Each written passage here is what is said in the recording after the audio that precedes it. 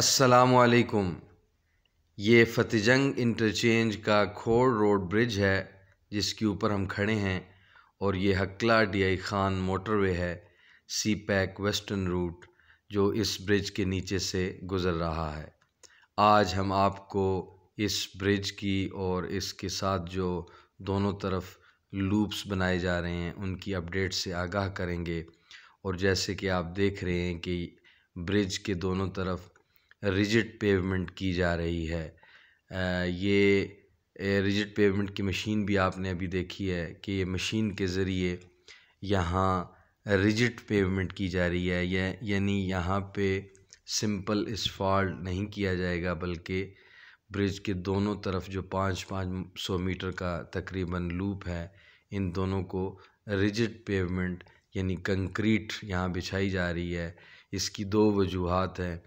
एक तो ये कि यहाँ पे बहुत ज़्यादा हैवी ट्रैफ़िक ओवरलोडेड ट्रैफ़िक चलती है और दूसरी वजह यह है कि चूँकि ये उतराई और चढ़ाई बनेगी तो यहाँ पे ट्रैफ़िक की स्पीड भी कम होगी और दूसरा, अगर सिंपल इस्फाल्ट हो तो बारिश में उसको नुकसान हो सकता है क्योंकि ये यहाँ पे जो है ना, बारिश की सूरत में काफ़ी तेज़ी से पानी जो है ना फ़्लो आउट करेगा।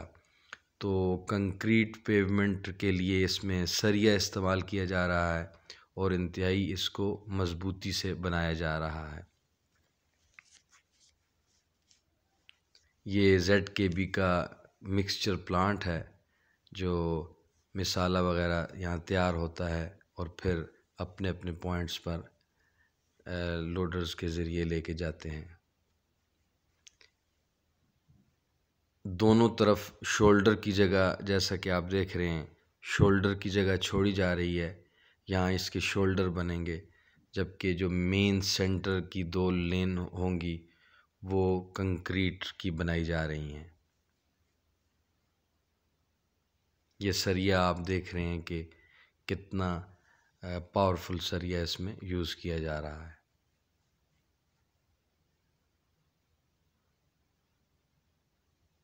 अभी एक लेन, ये जो जिस रुख पे हम अभी वीडियो बना रहे हैं, ये टूवर्ड्स फतेजंग साइड है, यानी इसका जो नॉर्दर्न साइड है शुमाली, उसकी, क्योंकि यहाँ पे पहले काम शुरू हुआ है, अभी जो सदरन साइड है जनूबी, उस पर अभी ये काम स्टार्ट नहीं हुआ।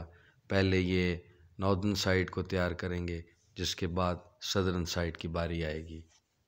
तो अभी नॉर्दर्न साइड का जो एक लेन है इसकी रिजिट पेमेंट की वो मुकम्मल हो गई है, जबकि इसके साथ दूसरी लेन को भी विद इन वन वीक मुकम्मल किया जाएगा और ओवरऑल दोनों तरफ़ यकम दिसंबर तक ये जो रिजिड पेवमेंट का काम है, ये इन मुकम्मल हो जाएगा और इसको एक मशीन के ज़रिए ये किया जा रहा है।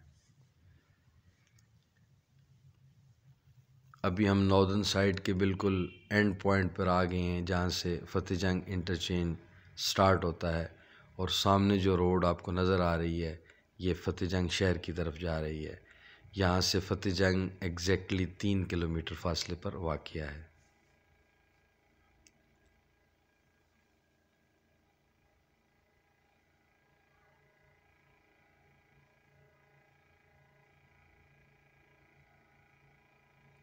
ये टोल प्लाज़ा का जो वे स्टेशन है वज़न कांटा उसका ऑफ़िस बन रहा है, जिसका भी छत बाकी है। ये आपको उस रिजिट पेमेंट का एक व्यू नज़र आ रहा है, जहाँ से ये स्टार्ट हो रही है। अभी हम ब्रिज के दोबारा वापस आ गए हैं और आपको दूसरी साइड जो, जिसकी जनूबी साइड है, उसका काम दिखाते हैं, जहाँ अभी कंक्रीट लेन का काम शुरू नहीं हुआ है, ताहम जो इसका जो सब ग्रेड है वो मुकम्मल हो चुका है और कंपेक्शन वर्क भी तकरीबन मुकम्मल हो चुका है। ये नीचे आपको मेन मोटरवे नज़र आ रही है।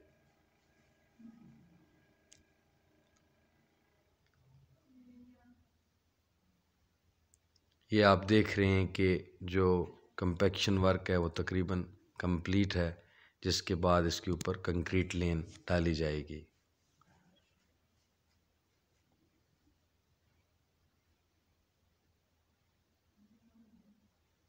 अभी हम आहिस्ता आहिस्ता जो ढोक सईदा का स्टॉप है, उसकी तरफ़ पहुँच रहे हैं। आजकल इस लेन से गाड़ियाँ इन और आउट हो रही हैं।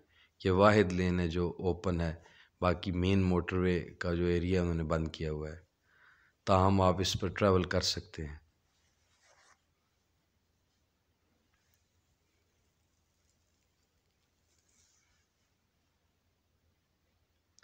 जहाँ से ये स्टार्ट हो रहा है एरिया वहाँ इसको थ्री लेन बनाया जा रहा है ताकि चूँकि इंटरचेंज इन और आउट गाड़ियाँ हुआ करेंगी तो यहाँ पे थ्री लेन बनेगी ये सड़क, जबकि आगे जैसे जैसे ब्रिज के करीब जाएगी तो ये टू लेन हो जाएगी।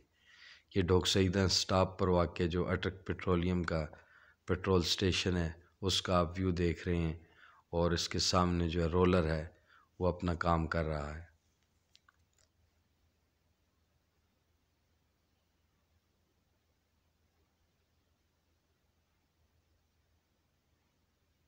अभी हम जो साउथ बाउंड टोल प्लाज़ा है, फ़तेह जंग इंटरचेंज का, उस पर आ गए हैं, यानी जनूबी टोल प्लाज़ा, जो फ्यूचर में डी आई ख़ान जाने के लिए इस्तेमाल होगा।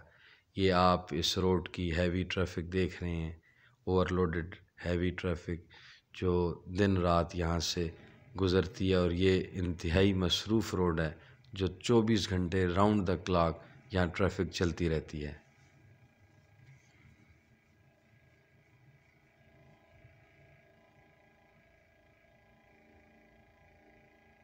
ये अभी हम मेन जो साउथ बाउंड टोल प्लाज़ा है, उस पर आ गए हैं और आप देख रहे हैं कि जो टोल के जो बूथ्स हैं, वो तैयार हो चुके हैं अपनी अपनी जगह पर फिक्स हो चुके हैं और फिनिशिंग वर्क अब काफ़ी तेज़ी से ये जारी है।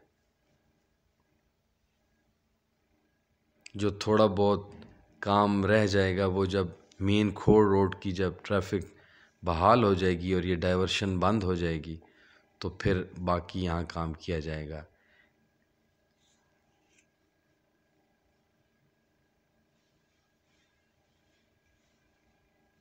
जब ये टोल प्लाज़ा मुकम्मल होगा तो ये इसकी लुक जो इंतहाई खूबसूरत आएगी, क्योंकि अभी ये फिनिशिंग स्टेज पर है। ये टोल प्लाज़ा का मरकज़ी ऑफ़िस है, जिसकी दोनों बिल्डिंग्स तैयार हो चुकी हैं। Please subscribe our channel, like and share our videos. Thank you for watching.